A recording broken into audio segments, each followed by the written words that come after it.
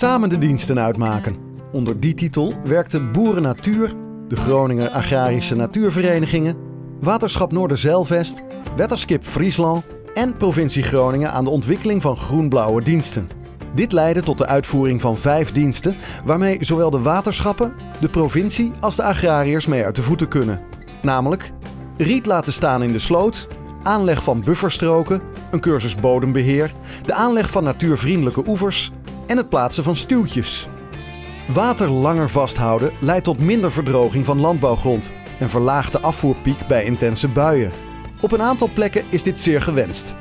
Wetterskip Friesland en Waterschap Noorderzeilvest hebben samen met de Agrarische Natuurvereniging locaties gezocht waar zowel de waterschappen als de agrariërs gebaat zijn bij het langer vasthouden van water. Melkveehouder Jelle de Vries uit het Groningse Opende is zo'n agrariër die wel baat had bij een eigen stuwtje. Hij heeft in maatschap met zijn vrouw 80 hectare land met 140 melkkoeien en 100 stuks jongvee. Bij hem zijn in het kader van dit project twee stuwtjes geplaatst rond een relatief hooggelegen stuk land. Het leek me op zich wel een leuk project. Het, uh, omdat het hier droog, droog gebied is.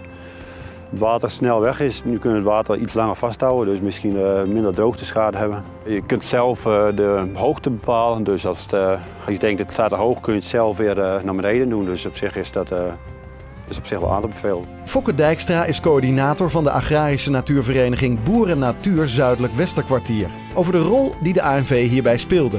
Hij kijkt vooral naar de voordelen. Wij uh, kijken dus naar het gebied en we kijken naar wat voor boeren zitten daar. En, uh, nou, in, in, dit geval kijk je dus naar het hoge gebied. En Zevenhuizen en Opende, dat zijn met name dus de hoge gebieden, of die hele lijn eigenlijk wel. En hebben hier, uh, hier hebben we een paar stuwtjes geplaatst. In Zevenhuizen hebben we een paar stuwtjes geplaatst. En uh, met name de hoge gebieden, omdat daar het water dus wat sneller de grond inzijgt en proberen langer vast te houden. Opdat het uh, land wat minder snel verdroogt. Je kunt zelf heel veel regelen. En ik denk dat het een hele grote plus is. Dijkstra ziet ook een rol voor dit soort diensten in het nieuwe gemeenschappelijke landbouwbeleid, waar boeren mee te maken krijgen. Ik denk dat het er juist heel goed in past. Dat geeft meer variatie. Uh, de natuurvriendelijke oevers zijn we dus bezig. Dat kan ook in het Zuid-Westkwartier op lage gebieden. Nou, deze stuwtjes kunnen we misschien wel wat meer ontwikkelen. Er zijn vast wel meer dingen die we kunnen doen. Hoewel het nog te vroeg is om conclusies te trekken, lijkt de Vries zowel in droge perioden als in natte perioden profijt te hebben van de mogelijkheid om het water beter te reguleren. Naast de plaatsing van de stuwtjes heeft het echter nog meer opgeleverd. Ik zou het absoluut aanraden, want het is, uh, het is ook nog een proef. Maar uh, we kunnen het water langer vasthouden.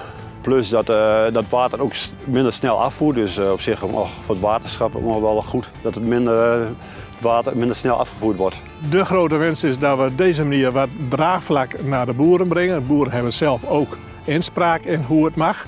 En daar gaat het om, denk ik. Het is niet alleen van bovenaf regelen van uh, zo willen we het hebben en, uh, en, en dat is de enige manier. Maar om er samen uit te komen, dat is de grote winst.